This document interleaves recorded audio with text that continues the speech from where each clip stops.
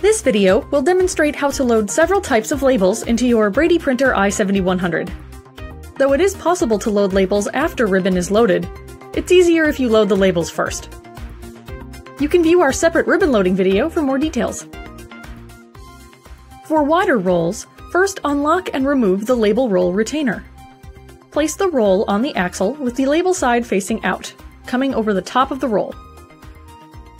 Return the label roll retainer and lock it into place. Next, thread the media under the white rocker arm, over the silver arm, under the print head, and under the anti-static brush, being sure to stay in between the red media guides. You can adjust these guides by turning the red knob clockwise to expand or counterclockwise to bring together. Once the labels are loaded, stand at the front of the printer to visually locate the amber-colored sensor light.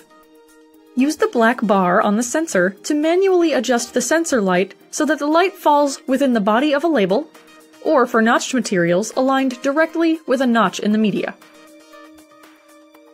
Once your labels are loaded and the print head closed, press the green arrow button on the screen to feed your label. And then you're ready to go.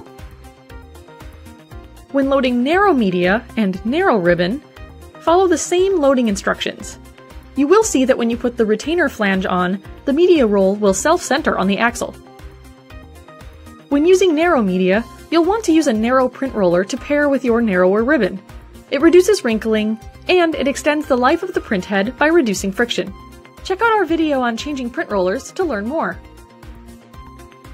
When loading permasleeve media, be sure to load the roll with the printable side of the sleeve facing upward, which often means the roll will feed off the bottom of the media.